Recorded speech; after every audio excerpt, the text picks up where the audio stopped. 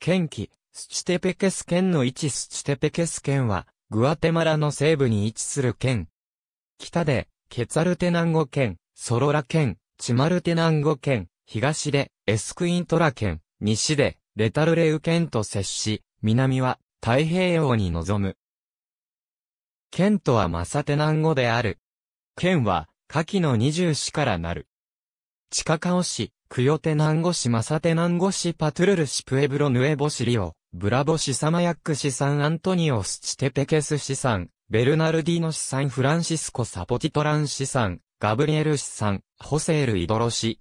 サンフアンバウティスタ市サンロレンソ市サンミゲルパナン市サン、パブローホコピラス市サンタ、バルバラ市サントドミンゴスチテペケス市サントトマスラ、ウニオン市、スニリート市。ありがとうございます。